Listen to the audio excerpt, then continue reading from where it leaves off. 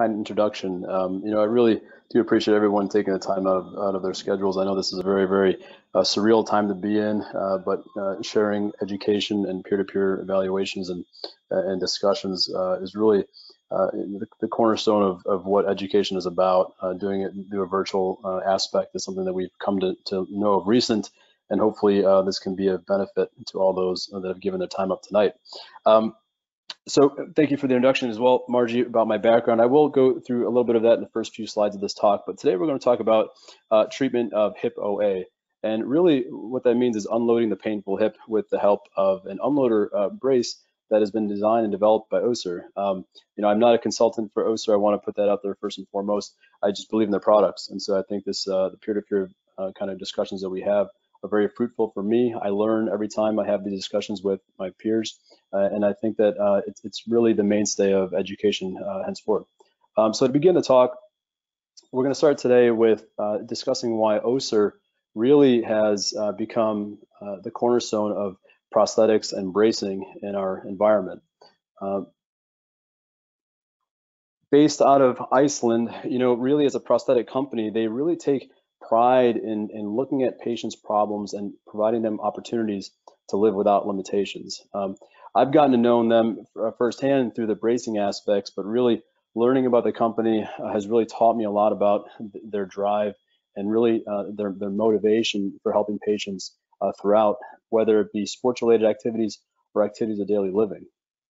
Um, a little bit about our institute, as, as Margie briefly mentioned previously, uh, my mentor and colleague, Dr. Benjamin Domb, and I uh, have uh, recently developed an institute here in Chicago, but it's not a new a new practice. This has been around uh, for 10 years. Uh, we have developed a research foundation uh, coexistent with our clinical practice. Uh, we're just at a new facility now here in Chicago, and I encourage each and every one of you, if you have a chance, we're about a stone's throw from Chicago O'Hare's Airport, about two and a half miles to be exact. come by, stop by for a cup of coffee. Love to chat about hip-related pathology or anything that you may have. Um, we are the top center in the country by volume for hip arthroscopy. Uh, we have the largest hip preservation research database worldwide. Uh, we are consultants for major pro teams in North America. Uh, we also, outside of hip preservation, we're an all-encompassing hip uh, treatment team. So we perform outpatient and inpatient robotic hip replacements, uh, direct anterior and posterior hip resurfacing, commonly known as the Birmingham hip resurfacing. We also perform cutting-edge regenerative medicine techniques like stem cells and PRP. Uh, Margie had mentioned a little bit about uh, my background in athletics, and I would be remiss to proceed on without uh, mentioning that it, it, has played a big role in the caveats about my perspective.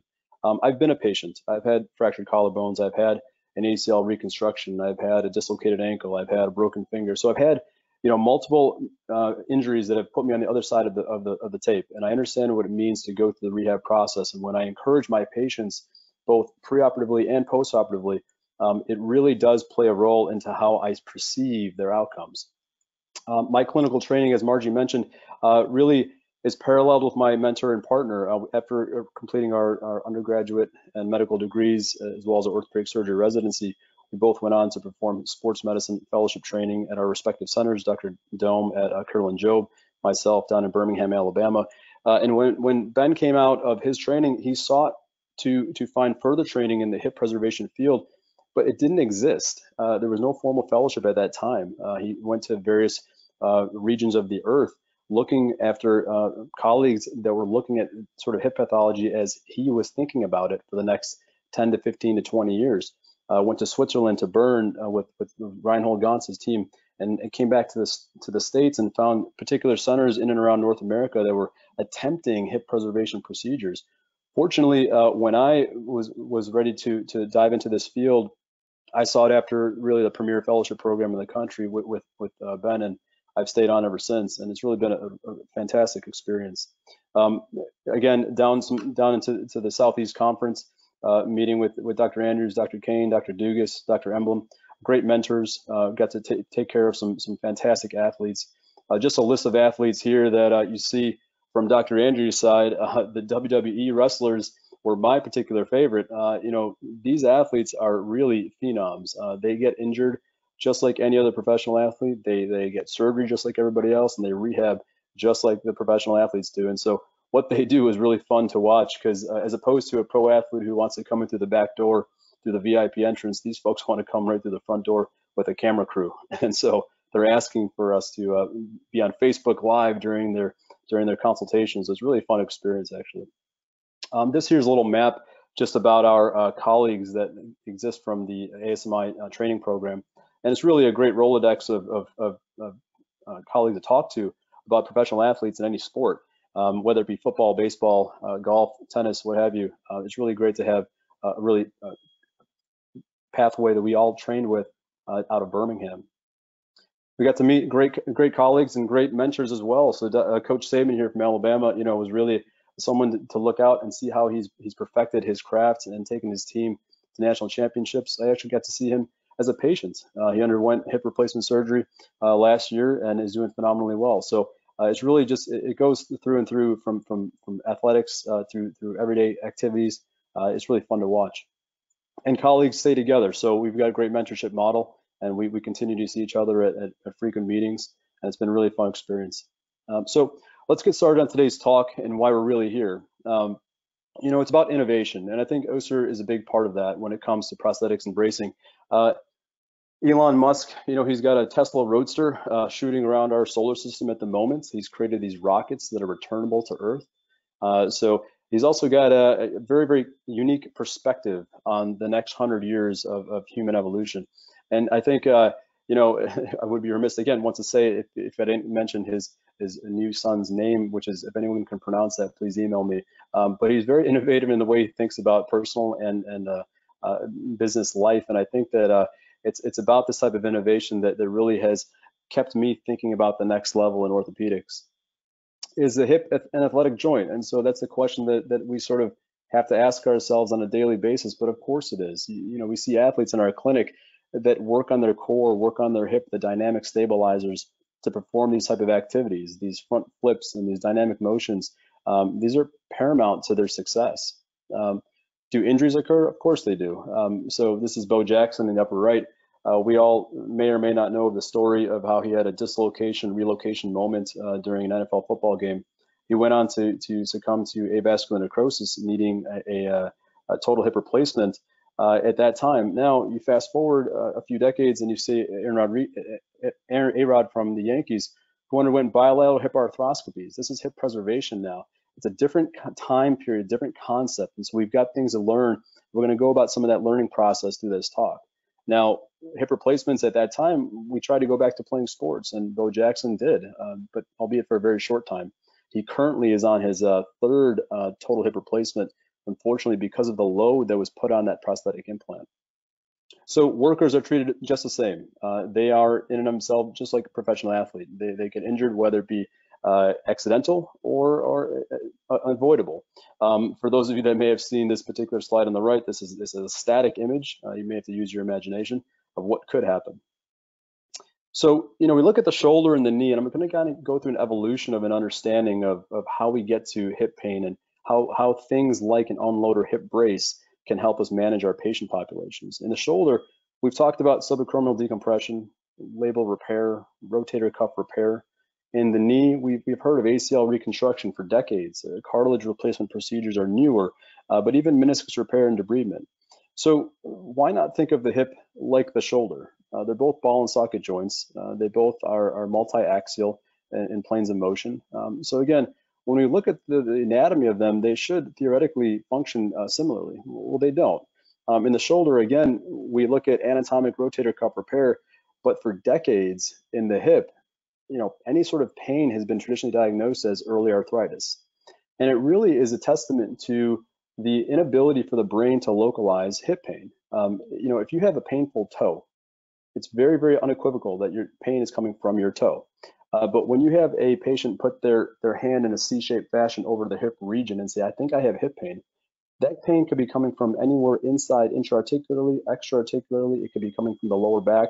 It could be coming from the knee. It could be coming from intra-abdominal structures. So it's really hard for the brain to localize where the pain is coming from. And because of that difficulty of diagnostics, it's really led to a delay in treatment.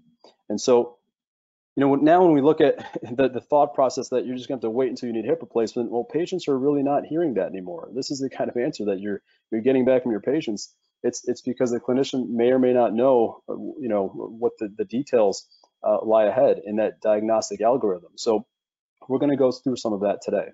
Um, again, looking at the shoulder, it's taught us so much about how we look at the hip. Um, you know, Charlie Neer in 72 described impingement in the shoulder.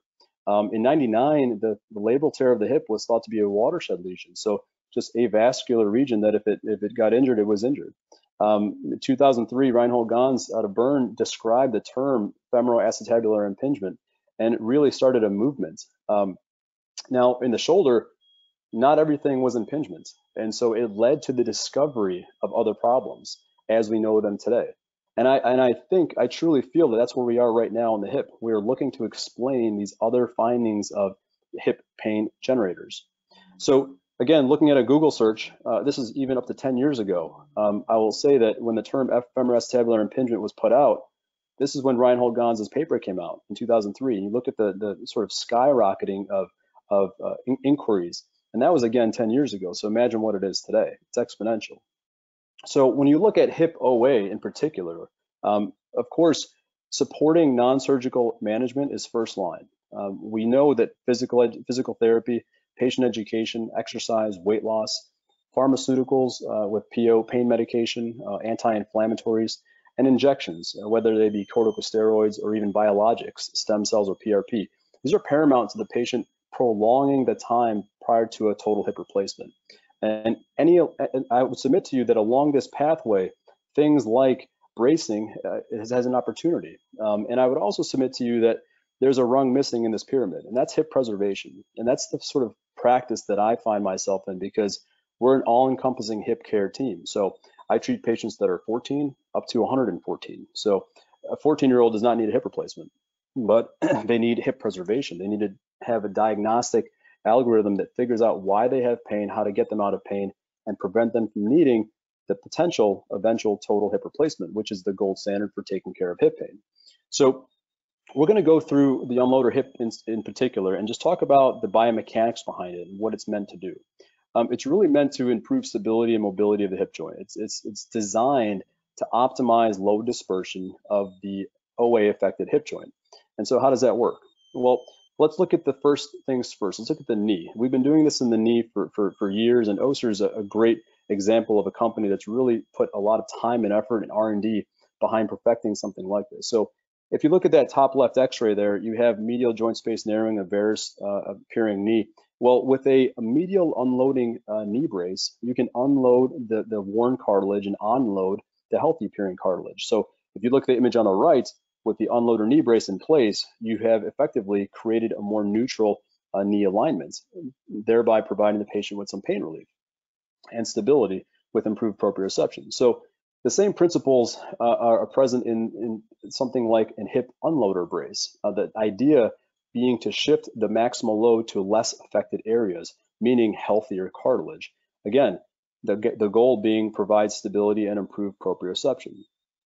So the biomechanics behind this, it, it's, a, it's multifaceted. So you have a pulley system that provides compression. It delivers proprioceptive support to abductor tendons of the hip. Um, and the goal is to improve the ability to dynamically mobilize the joints, improving muscle tension. There's also a dynamic rotational strap. And so the idea behind that is providing an external rotation moment as needed, which increases the abductor moments and improved load dispersion. So during swing phase and stance phase, there are differences of activity of the, the, the, brace itself, and we'll look at that right here. So if you look at the beginning of this, this gait cycle, uh, during heel strike, the strap tension is high. Um, so patient is just landing. Now the tension is gonna precipitously drop because they're in stance phase and the femoral head is in congruity with the acetabulum where it was meant to be with the activity of the brace.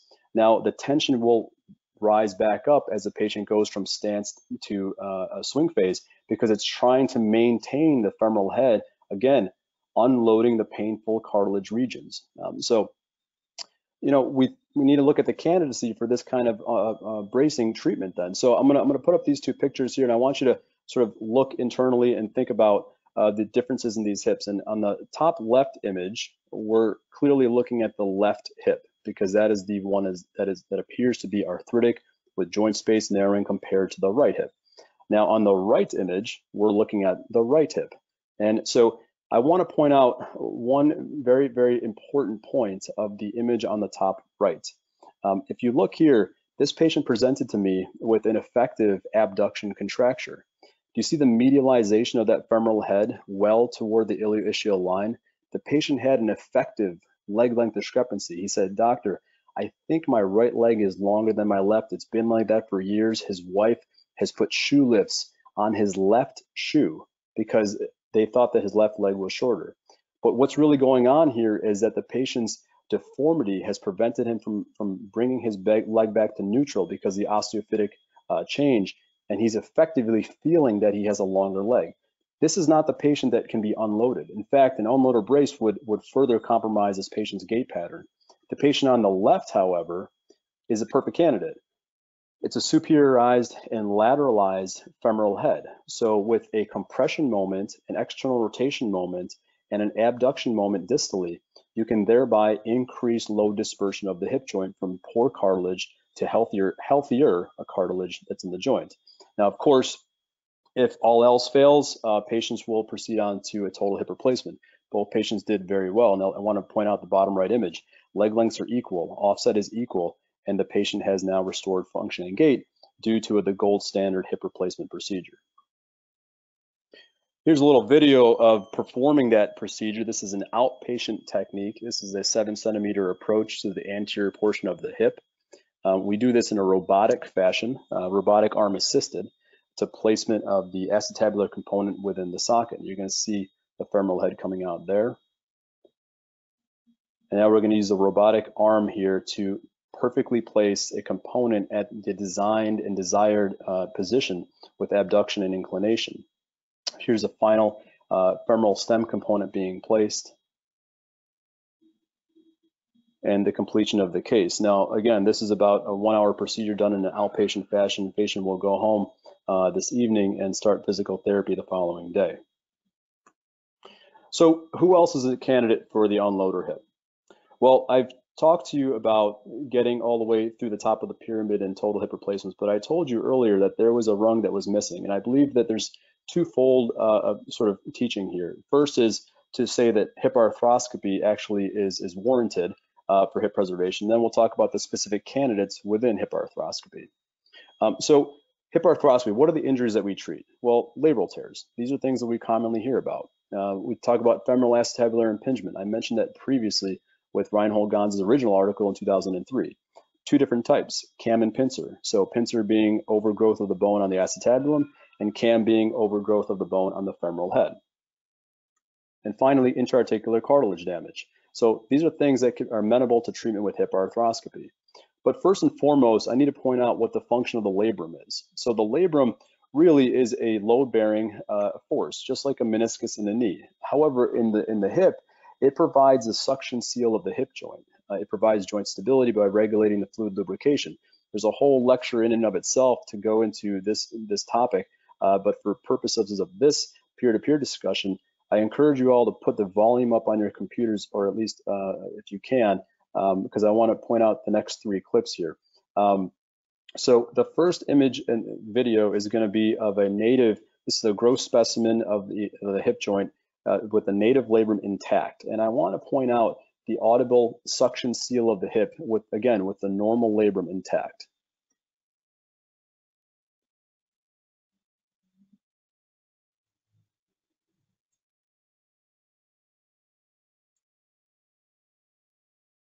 So now that you've appreciated that, I want to point out the next video here is going to be when the labrum is torn and you're going to notice the absence of the seal.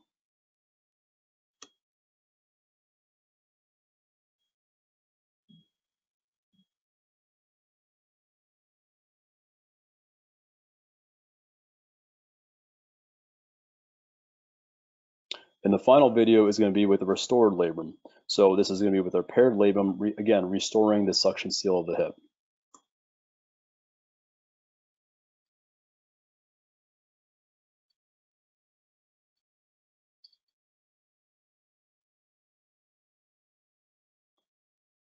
And so why does this matter?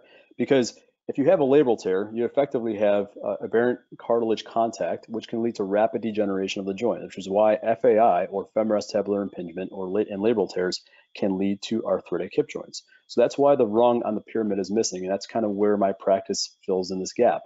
Um, so looking at labral tears intraarticularly through an arthroscope, we're seeing this shredded chondrolabral junction, but a very, very robust and repairable labrum, which is right there, that, that ring that goes around the acetabulum. And so when in doubt, we want to repair this if it's repairable. If it's irreparable, we'll talk about that a little bit later in this talk here. So when we want to repair, we do this in a controlled tension anatomic fashion.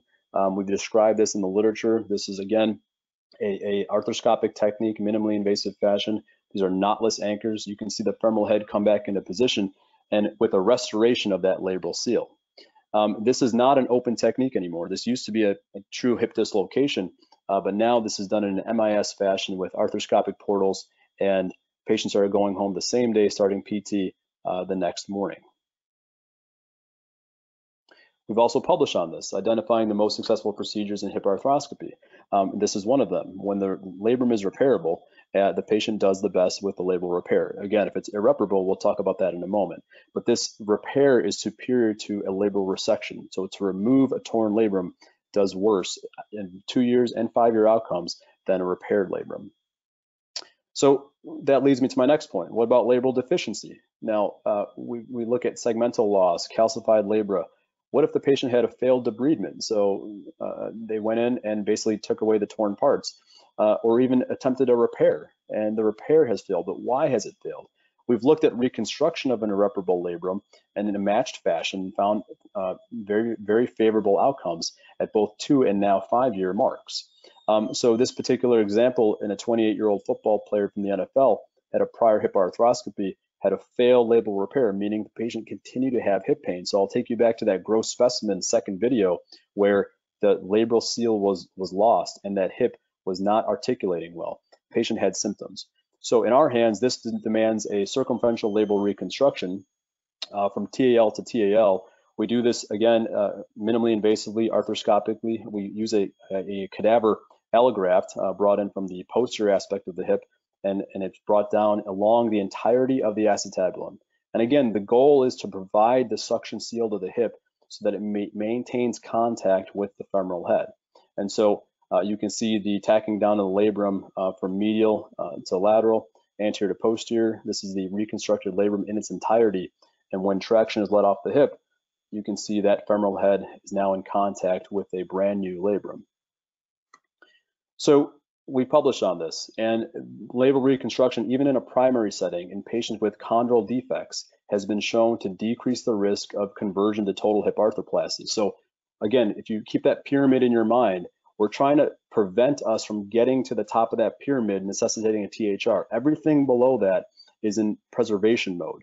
And I believe hip arthroscopy has been proven without with numerous uh, literature reports as to why it can, can be beneficial. Um, we've also looked at this now at the five-year mark, and we've had significant improvement in patient-reported outcomes uh, when comparing the recon group versus a benchmark repair group. So even compared to repair cohort, patients that went underwent reconstructions uh, have favorable outcomes at the five-year mark. So results have been described as durable. Um, now, I, that's the intraarticular soft tissue management, and, and I want to look step one, one step back and go into the, the bony architecture here. So the static stabilizers of the hip if you have overgrowth of the bone on the cam, uh, on the femoral side, called a cam, or on the acetabular side called a pincer, it should sort of make sense that if you remove those bony landmarks, the patient should theoretically have a repaired labrum that stays repaired. Well, the art of the surgery is doing this safely. And what do I mean by that? Um, it sort of comes down to the question, why are there so few surgeons in the country who specialize in hip arthroscopy? Because of this picture here. So imagine a 40 year old police officer who presented to us obviously he must be able to be to, to run to do his job had an errant femoroplasty and so we sort of call this an apple bite lesion or, a scalloped shark bite lesion of the femoral head you cannot put that bone back you could have a great labral repair you can have a great labral reconstruction but if the bone is missing there's nothing you can do about that and the patient uh, eventually went on to undergo a total hip replacement um, and did great uh, of course pain is relieved but at 40 years of age likely to have a secondary or even a, a third uh, revision replacement in his his lifetime. Uh, again, this is a video of that you saw previously, but of the femoral head coming out in an MIS fashion. Again, patient is the same day procedure, but uh, will potentially need a second or a third hip replacement uh, given his level of activity.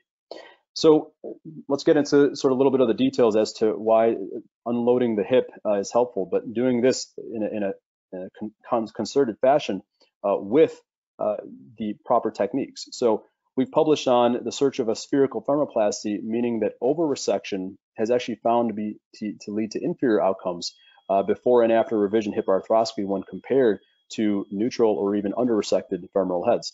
And so we went one step further and to help teach uh, sort of the masses on, on, this technique, recently published a technique article on this on how to do it safely. And so using intraoperative uh, fluoroscopy uh, in graduated fashions with, with very scripted and, and uh, uh, particular uh, movements of the hip, we can achieve a perfectly spherical femoplasty every single time. Um, this is the ideal sort of picture we want to have. We want to have a dynamic impingement test with no bony contact of the rim and the femoral head, but we want to have perfect sealing of that repaired labrum throughout the entirety of range of motion. So I've proven to you that hip arthroscopy via, via literature, and not just ours, there, there's hundreds of articles that show that it's a benefit to patients. But now let's talk about the particular candidate um, that would be most beneficial um, when utilizing a thing like an unloader hip to help relieve pain. And so I'll sort of give you a hint. Um, it's the term is going to be hip microinstability, and you may or may not say to yourself, um, "Wait a second, I thought the hip was inherently a stable joint because of the large uh, sort of uh, dynamic structures. It's a weight-bearing joint, um, and it's got more coverage than a, a, shoulder does." Well, it's, it's very particular, and we'll go through the details here. Um, the iliofemoral ligament, which surrounds the hip joint, is the strongest in the body, uh, tensile strengths of over 700 pounds. Um, but when you look at laxity, uh, let's look at the shoulder versus the hip. The shoulder in the left on this professional football player is traumatic. It's acquired. It's a dynamic issue. Um, this dislocation occurred in a moment in time. Look at the patient on the top right. She is uh, intentionally dislocating her hip to get her super physiological motion uh, during her ballet activity. This is congenital. This is static. This is something that is that she was born with. So this is considered generalized ligamentous laxity. I'm sure the folks on this phone call uh, may or may not have had patients like this in their careers, uh, but but likely so, given the amount of literature that's been put out on on sort of chronic microinstability of large uh, joints. So I'm going to talk about hip microinstability causing things like a labral tear, but it's it's it's via two different pathways. Uh, the first pathway is the video you just saw. So if someone has generalized ligamentous laxity, we test this with what's called a Beighton score. Um, we test on all of our patients. It's a nine point scale that tests the inherent uh, flexibility within the patient's genetics. Um, the other is under coverage. So imagine a socket of the hip that is not covering the femoral head. The femoral head is trying to escape because of the lack of coverage. So both of these particular situations can lead to hip microinstability, which can then therefore cause labral tears and pain and they all manifest as pain. So it's our job as clinicians to figure out what is causing the patient's pain, but more patient's pain, but more importantly, the specifics of the pathology.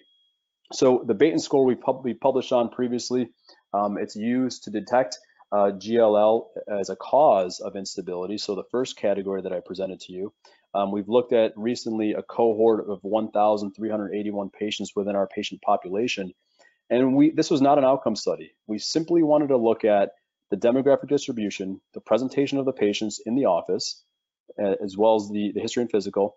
Um, and then we wanted to look at intraoperative findings and procedures that were performed for these patients. So we found that patients that had a Beighton score of four or greater were more likely to be younger, have a lower BMI, and be female. They had, uh, as, as one would think, increased range of motion, um, and uh, we found out smaller labral size and tear dimension. Uh, importantly, they were more likely to undergo labral repair and more likely to undergo capsular plication. So just simply to repair a labrum in someone like this does not do the labrum any justice. It's, it, we have not changed the overall architecture of the, the dynamic pathology that caused the patient to have a, a labral tear. This was not due to a cam lesion. This was due to the hip moving around too much because of the generalized ligamentous laxity. So we need to do something to help tighten up that hip capsule. And so what do we do? We actually perform a capsular plication with an inferior shift. And so what do I mean by that? Well, we want to take that inferior medial capsular leaflet and bring it superior laterally with the way we place our sutures in an oblique fashion. You can see how they're superior lateral to inferior medial. So when the knots are tied, we have effectively brought up and imbricated that hip capsule and shifted it uh, to a superior lateral direction, thereby tightening the hip and external rotation. Um, so here's a short video just showing that where you can see working medially in the hip in an arthroscopic fashion, we have brought the, the inferior leaflet and medially to the superior lateral direction with that not being tied. And so this patient's going to have different dynamics inside their hip joint. They're going to complain a little bit of lack of external rotation, but remember, we're looking to preserve their hip, to restore the seal, to prevent them from having recurrent labral tears. So it's important you have a thorough discussion with your patient uh, preoperatively. So of course we need to publish on this, and so we have. We looked at this particular type of patients uh, with borderline hip dysplasia, meaning uh, under coverage of their sockets, and they had uh, labral tears. And we looked at two-year outcomes, and we had favorable PROs at two-year mark. We then looked one step further. Recently in 2018, we looked at who fails. What patients uh, did not do well from this? What were the risk factors for failure? And so both in American Journal of Sports Medicine, but most recently, we identified that the age over 35 was a 2.25 uh, uh, more likelihood of, of failing from this type of procedure, not achieving the patient acceptable symptomatic state, which is important because I'm going to bring back this pyramid here. So although hip arthroscopy has proven to be helpful, if you reach them too late, then they're moving up to the top of that pyramid and uh, sort of can get, provide them with a gold standard uh, hip pain reliever. But it's really our job as clinicians to catch them before they get to that point. And so I'm going to now get into the hip preservation world. Um, so of these two x-rays, um, who would be a candidate for the unloader hip brace? And I'm going to sort of sort of draw out some lines here, which will help make this a little bit more clear. Let's focus on the right hip joint uh, of both respective patients here. So look at the coverage of the acetabulum, and you can then look at the contralateral hip as a reference. Um, the, the patient on the left, uh, the x-ray on the left, has a neutral uh, sort of coverage angle, um, whereas, or less than 10, I should say. That's the number we're looking for. Whereas the patient on the, uh, the on the right has a Tönnis angle or acetabular roof index of potentially greater than 10. So the hip is looking to escape in that patient. That is the patient who we want to put an unloader brace on to contain the hip uh, in its in its place, and that will provide pain relief. It can provide longevity of of, of natural uh, hip dynamics and preventing potentially even a labral tear. So again, the patient on the right is the one that's better uh, indicated for this type of bracing procedure. Um, so in summary, you know, we talked about management options for hip pain, um, all non-surgical uh, at some point. We talked about biomechanics of the hip unloader brace. We've talked about candidacy both in the arthritic realm as well as the preservation realm. We've talked about ongoing research throughout the talk here. Um, a recent RCT uh, showed looking at 45 patients with specifically OA. Um, they were placed in, in, a randomized fashion with uh, half receiving the, the, unloader brace and half receiving a non-functional placebo brace. And, uh, you know, lo and behold, uh, patients that received the appropriate uh, brace treatment had uh, improved HOOS ADL scores from baseline to four weeks. They did better. Uh, compared to the placebo group. Now, this is short short outcomes at full four week interval, uh, but this is the type of thing that's that should spawn future research. And so at AHI, um, we are looking at a novel unloading hip orthosis, meaning the unloader brace for the arthritic hip. We want to look at prospective analysis of the kinematic effects and the patient reported outcomes at minimum one year follow-up. So we want to take the next step here. And I, think that's where um, this type of -peer, uh, interaction really carries us because it stimulates discussions, it stimulates uh, thought-provoking uh, questions and, and, potential answers in the future. Um, so again, the goals of managing hip pain is really understanding the pathology being treated. You have to get a thorough history. You have to do a, a very thorough physical exam uh, from baseline. Um, and really the imaging is, is, is demand of critical evaluation uh, because not everyone has the same particular pathology. Uh, it's really based off of what they are showing you on imaging. So diagnosis is critical. Um, and really, you know, you've heard the term from Plato that eyes, you know, only see what the mind knows. And, and I truly believe that, that the, the fresh eyes uh, see new things. Um, you know, I, I, I view the world now through through my son's eyes, and and, and it's really phenomenal to, to watch him interact with everyday surroundings. And I just, you know, being home at this uh, this moment in time with with the COVID restrictions has really allowed me an opportunity to watch him grow. And I think that uh, it's going to help me understand, you know, what he's interested in, you know, even 20, 30 years from now, this, these few short weeks that I've gotten to spend so much time with him. So, you know, it's it's a blessing uh, in, in, disguise here, and I, I really do uh, believe that to be true. So, again, thank you all for your time and, and consideration, and as well as uh, uh your attention. Great, thank you, Dr. Lall. Great presentation. And uh, please post your questions in the chat area. Um, I'm going to ask uh, Brett Carter, who was our Director of um, Medical Marketing, to comment a little more about the brace. There already is a question in the chat about the cost of the brace. I'm sure there are questions about how do you get access to it, etc. But I think Brett can provide a little more information about that. Brett? Sure. Uh, thanks, March. Uh, Dr. Lall, thank you. That was a fantastic uh, talk. Um, I think what's important to, to think about here is exactly what you were talking about is the proper diagnosis and, and looking to where this where this can help certain patients and then patient selection is, is going to be key. Um, one of the things that I like in, in describing this, and, Dr. Lall did a great job in, in comparing to the knee and then to the hip, um, is it's one where what we're really trying to achieve with this micro motion that Dr. Lall was talking about is prevention of misalignment. If we can keep the the head of the femur in the acetabulum where it's supposed to be, away from those sensitive spots that have deteriorated from internal excessive internal rotation, excessive adduction. Um, if we can keep them abducted, prevent that internal rotation or externally rotate them as appropriate, we can distribute the load in a more anatomically correct position. And we achieve this, as, as Dr. Lall said, in a non-weight bearing form. So your patients who have trouble sleeping at night because of the pain, they may only need to use this product at night to help them sleep. So if you get a more a, a, better night's sleep, you're more productive the next day. You may not have to necessarily wear uh, a, a, product such as unloader hip during the day because that's not when you're experiencing experiencing your pain. And how we're able to achieve that is preventing that excessive internal rotation and adduction of the hip, creating that pressure point or the concentration of the force over an area that's been compromised either with the labrum or, or the cartilage it's um, a little bit more difficult to describe over the, uh, the, the internet. This is one that you kind of have to see to to appreciate it. But what we're trying to do is integrate the brace into a soft form, a yoga shorts or biker pants, if you will, with combining like an SI or an LSO belt where you have a lot of compression, graduated compression, and then also control rotation of the femur. And so that's how we're able to accomplish this prevention of misalignment. Um, we have the, the macro where we grab the whole hip complex, the right and the left side of the hip with a with a um, macro uh, layer, if you will, where we can grab the whole complex and, and provide compression.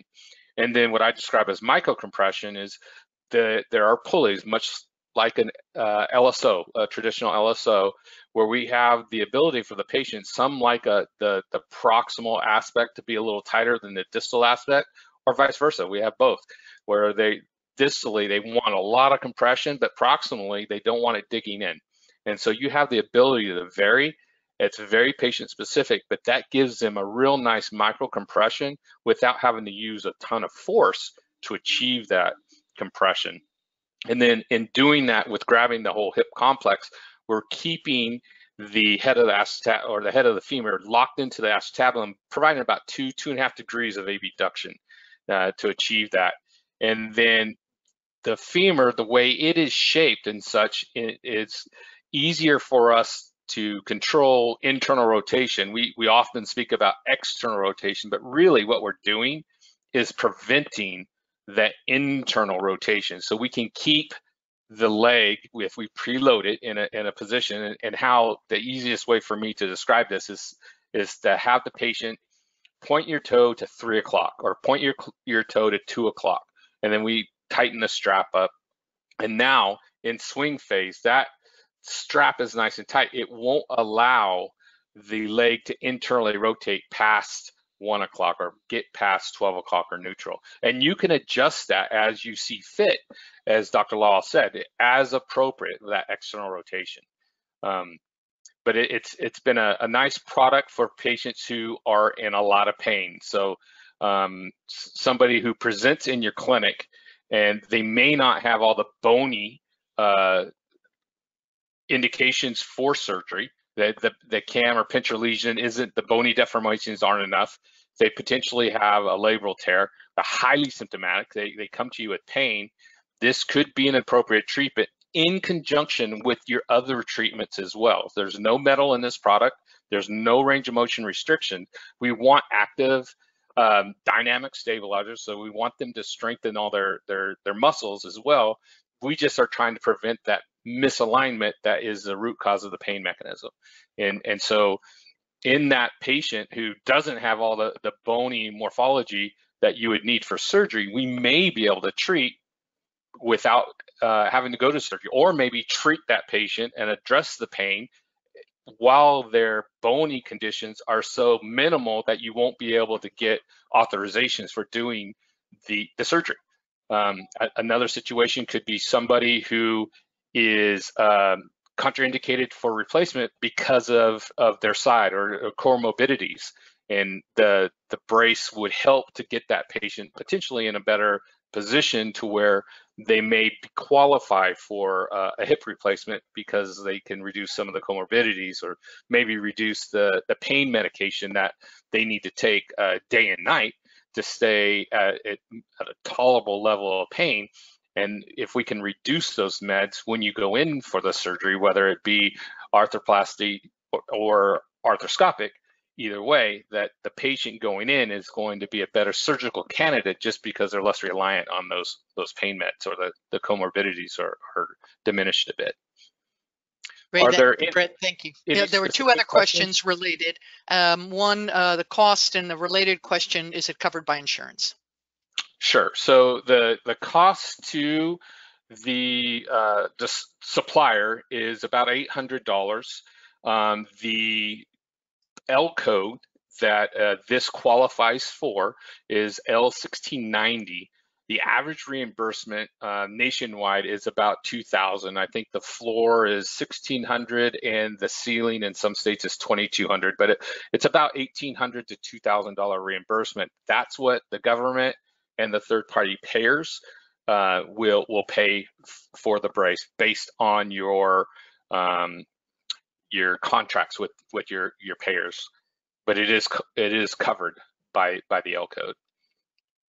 Uh, Doctor, thanks, Brett. Dr. Lall, a question for you: Is the efficacy of the brace affected by the degree of OA?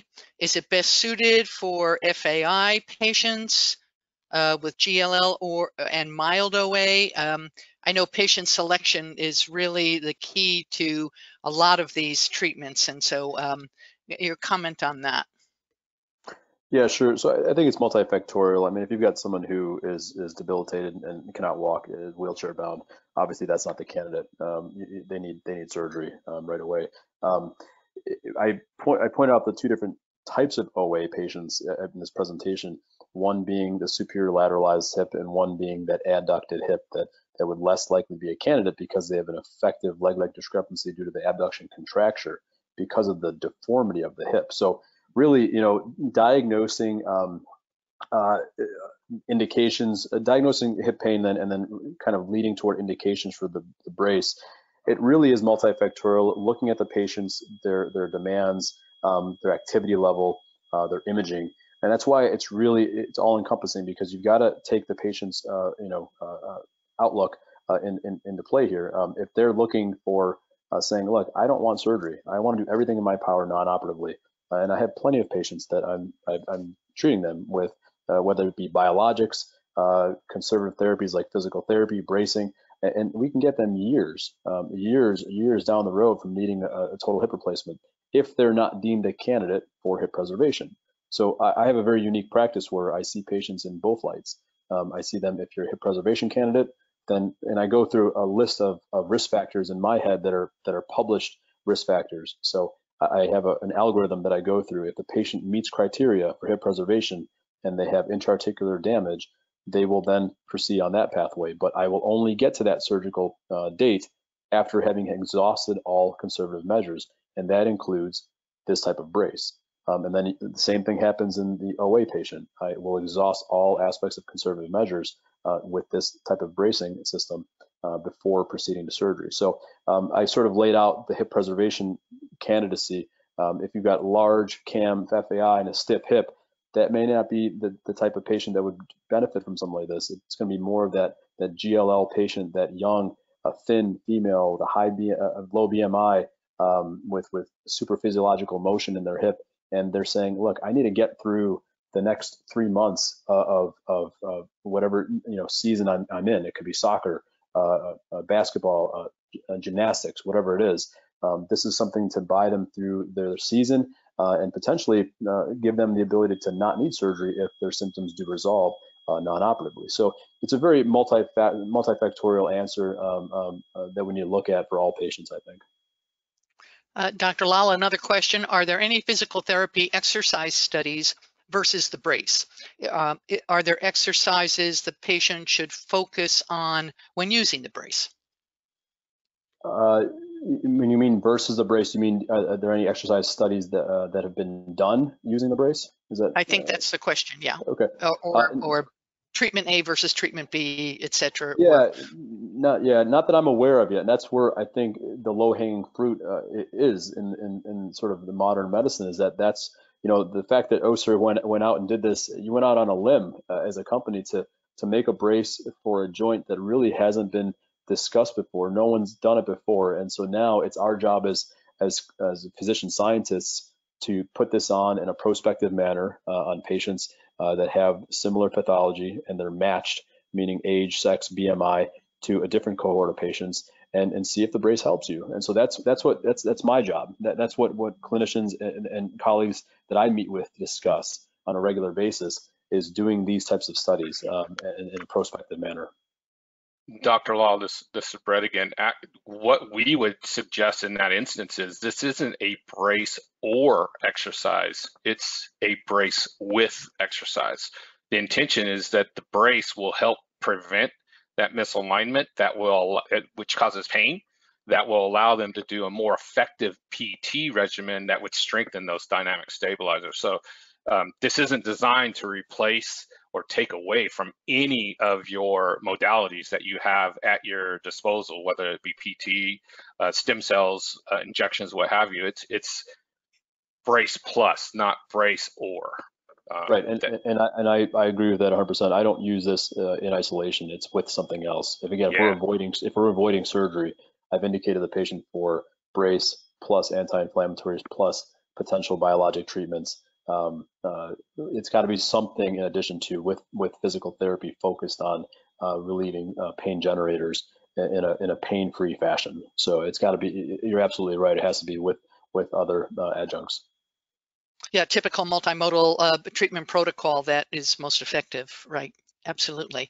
Another question for you: ability to run and exercise in the brace. Any recommended sport limitations while in the brace?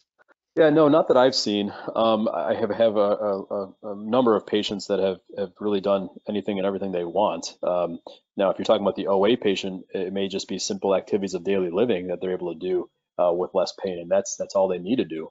Um, that's all they want to do. I've had patients that are athletes that are on the uh, uh, you know uh, field or court um, uh, with a brace. Uh, now, if they have an injury that's that's indicating them for this, clearly that pain has to go down. So they're typically in a in a physical therapy sort of uh, regiment as opposed to uh, the same level of of, of, of uh, athletics that they were before they were injured. So they're they're rehabbing with the brace with the intention of potentially not needing surgery, getting back to their baseline level of activity. Um, and potentially not needing the brace in the future, but it's it's got to be on them during the rehab process. So, uh, but I haven't seen any limitations uh, thus far. And we have an orthopedic surgeon uh, colleague, another KOL that is an avid biker, and um, he wears the brace um, when he bikes. So again, depending on the patient and and the, um, the, the limitation and symptoms they have, it can be very appropriate while exercising. Certainly, certainly, we have a lot of hockey players actually who are indicated for for surgery, FAI. They have uh, impingement syndrome, but they're mid-season or, or prior to the season, they don't want to miss for um, uh, and do the surgery, so they will wear the unloader hip mid-season in in practice and in the games, and that gets them through to when they can have the surgery in the off season.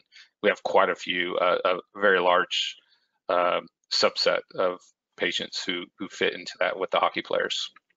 Definitely something to try um, on really active patients and see how they respond. Uh, another question, do patients get a trial of using the brace to see if it's helpful for them? Yes, so uh, this again. Um, this is guaranteed uh, at as satisfaction to the patient or to, to you. Um, so if your patient tries this and there is no benefit, there is no pain relief, they just are not um, benefiting from the use of the product, just as with our knees, we offer a full no questions asked guarantee. Um, the caveat to that would be I probably wouldn't tell the patient that. I would keep that in your back pocket, knowing that if this doesn't work, if there isn't any benefit, we're not going to stick the patient or or anybody is is not going to be stuck with a brace that they're not going to use. We take that back and we try something else and, and we'll encourage that. So it's guaranteed. Okay. Yeah, and we have a, a PM&R key opinion leader that actually does a brace trial. Um, and he says often when you do, as Brett referred to that SI belt or that, that macro belt that comes around the hip, that they could feel relief then just by putting that on. But he does a stair test with the brace on, um, you know, going upstairs, coming downstairs, uh, seeing how the patient responds in office uh, before actually deciding uh, to go forward with the brace. Uh, Dr. Lall, do you do any uh, brace test or any evaluation um, while the patient is considering it? Yeah, so um, to my previous slide about a prospective a trial that we're, we're, we're lining up. Um, so we are the first um, uh, uh, sort of all hip uh, dedicated clinic in the country, and we also have developed um, a sort of kinematic test. Uh, it's a three-dimensional biomechanical evaluation where patients are placed on a mat. Um, it's sort of with tracers, and we can identify uh, weaknesses of dynamic movements uh, and, and, isolate to muscle groups in the extremities left and right uh, via a battery of tests uh, that they do. Uh, single leg hop, sit, to stand, uh, just range of motion analysis. And so it allows us to give a printout before and after application of the brace. And, and this, this three-dimensional analysis was really developed at our institute to identify when patients are ready to return to function. So if you had a hip arthroscopy and you're an athlete and you're trying to say, when can I go back to you know, full go. Um, previously we said, well, it's around that four to six month range or what have you. I've had, I've had a, you know, we've had professional athletes get back much sooner because that's their job. Um, and they rehab 24 seven, seven days a week um, with the best modalities. But we really didn't have something in, in line to, to test for that. So we developed this, this three-dimensional analysis, and now we're utilizing that with this particular brace um, because we're looking at and getting uh, objective numbers as to deficiencies in the hip before application and after application. And you can see the difference, uh, statistically significant differences in patients when they uh, perform uh, during this test, uh, just just in the same day even. Um, so we then test them after use, after weeks to months down the road as well. Great, thank you. Um, anything else? I love the discussion. You know, when we started these webinars, because of the era that we're in right now, feels like an era, right? Uh, we didn't know if we could really um, duplicate the dynamic discussion that we've had in face-to-face -face meetings, but with all of your help, we have. And um, and and thank you so much for all your participation. Any any last minute questions? Um, okay, there are a couple questions, Dr. Lall, that would say reply in private if you're seeing on that. So there may be something that um, you can see the chat to uh, your right, and I'm going to respect that and not uh, read the question. Or I can read the question, but then have you reply in private. How does that work? Uh, role, sure. of, role, role of prolonged brace in hypoplastic labrum in symptomatic pain and apprehension following FAI, FAI following FAI surgery. And they're requesting a reply in private on the second to you role of the brace in hyperlax female athlete in general post FAI surgery. So should I not reply? um, um uh, I, I, think no, you can. It's it's uh, the way they sent the chat in. Oh, uh, sorry. Thank you, okay. expert. thank you. Um, thank yeah, you. Was, reply can be public. Okay, thank you. Go ahead and reply. Yeah, it's, it's hard to remember all these questions. So uh, the first question was uh, uh, a hypoplastic labrum post FAI surgery, if, if I'm not mistaken. Is that correct? Uh, yeah, let me get back to that. Yes, role of prolonged brace in hypoplastic labrum and symptomatic pain and apprehension following FAI surgery. Yeah, so that goes back to the NFL player example that I provided. Um, that patient had a hypoplastic labrum. It was not amenable to a repair. It had attempted to be repaired, but had still lost the seal. And that's why you sort of have a similar patient in your hands, whoever uh, uh, listed the question. The patient had a prior hip arthroscopy. There likely was an attempt at a repair or potential segmental debridement. Um, and now a postoperative MRI is showing that the labrum is hypoplastic. It's very small and diminutive. Um, so, you know, if you if you you can you can sort of look at the patient uh, as a whole and say, what are they looking for? What's the age? What's the activity level? Are they saying that uh, are they a young patient with healthy appearing cartilage, known hypoplastic labrum, and a failed hip preservation moment? In in my hands, you know, truthfully, in that kind of patient, I'm I'm looking after their hip 50 years from now. And if, if, in my hands, if I can prevent them from undergoing rapid degeneration of their intraarticular cartilage, I'm going to do that. I'm going to perform a labral reconstruction and reconstitute that seal that I showed you in that video because that's what they need right now. Um, now, that doesn't mean that the patient cannot bridge the gap with a brace like this, but I think your question was specifically to prolonged use. And so if the patient is not amenable to surgery, they cannot have surgery for whatever reason, um, it's not the time right time of, of their life or, or there's other other factors that are involved then yes i think this is the appropriate brace to, to put on that patient because otherwise they're going to continue to have that symptomatic uh, range of motion uh, throughout their activities of daily living and that's not fair um, so this is definitely a brace that I would use in that category. And then Margie, what was the uh, second question? Yeah, second question, role of the brace in hyperlax female athlete in general post FAI surgery. Right. So uh, again, back to my GLL examples that I provided, that is the, the and the potentially under coverage of the acetabulum. That is the patient that that that I would prefer to put the brace on. Um, now, if you're saying the patient has had FAI surgery, I hope that the uh, astute surgeon that performed it also performed some type of capsular management because they have hyperlaxity syndrome, so they need to have uh, capsular plication, some sort of management to augment the biomechanics of that particular hip.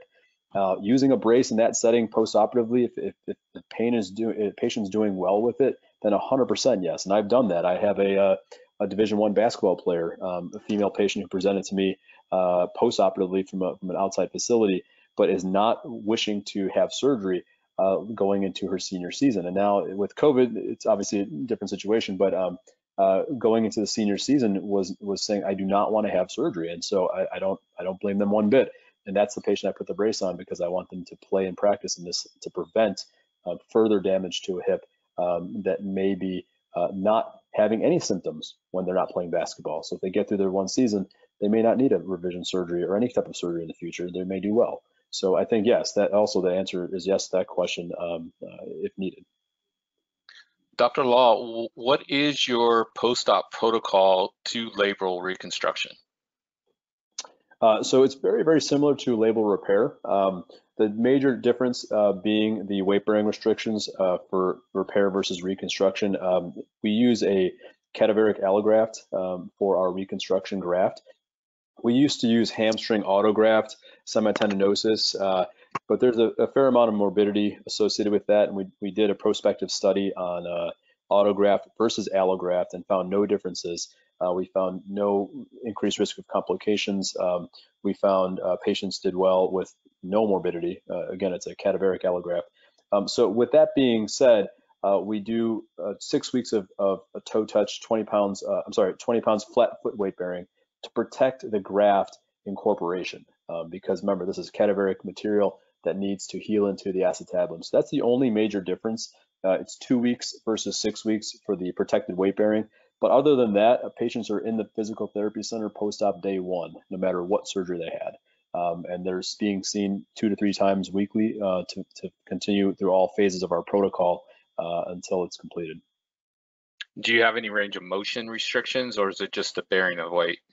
Yeah, so we have immediate post-op uh, restrictions of no no flexion past 90 degrees. Again, if they've had FAI work done, uh, we don't want to stress the repair or reconstruction.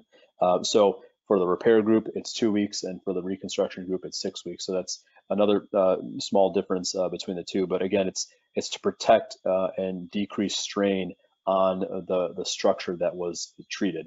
Um, and in addition, we don't want to strain um, the the capsule capsular tissue. So if patient underwent capsular plication or they have borderline uh, dysplastic precautions, we want to limit um, uh, passive external rotation and extension uh, because we want that capsule to remain uh, intact and actually be tightened up and healed and scarred in prior to returning to full range of motion. Thank you. Uh, see another question. Um, have you had any patients post-op labrum repair recovering at home receiving telehealth only? We have a patient right now recovering this way and it's going well. Yes, uh, we, we, we actually um, have a significant number. Um, so uh, Ben and I are, are very fortunate um, in the location geographically that we're in. Uh, we're in sort of the uh, crossroads of Chicagoland, but we also uh, tri-licensed in in Illinois, Wisconsin, and Indiana. So um, we um, have been performing urgent uh, surgeries um, relatively rarely in the past few weeks, um, but in the few patients that we had, for instance, I had a, a femoral neck stress fracture in a runner um, who had a concomitant labral tear. So um, that was an urgent case, and uh, I did a arthroscopic labral repair and capsular plication, femoroplasty, and acetabuloplasty, as well as uh, pinning and in situ pinning of the femoral neck fracture. Um, so uh, that patient needed telehealth and um, uh, they're, they're doing it uh, very well. We have, we actually offer telehealth from our facility. Um, we have in-house physical therapists that do evaluations uh, for patients around the country and they maintain um, activity with them two to three times a week uh, virtually. Thank you. It's great. Well, we're over our time, which is um, a success of a, of a great lecture and a great discussion when we um, when we when we've used more time than we thought we would. Um, so thank you all, and um, we look forward to additional webinars uh, from Össur Americas with great key opinion leaders like Dr. Lall. Uh, thank you for your time. Thank you for your interest. And I know you will be in touch with all of you in the future um, via follow-up emails. So thank you and everybody have a great evening. Thank you, Dr. Lall. No problem. Thank you, Margie. Thank you, everyone. Thanks. Thank you. Thank you.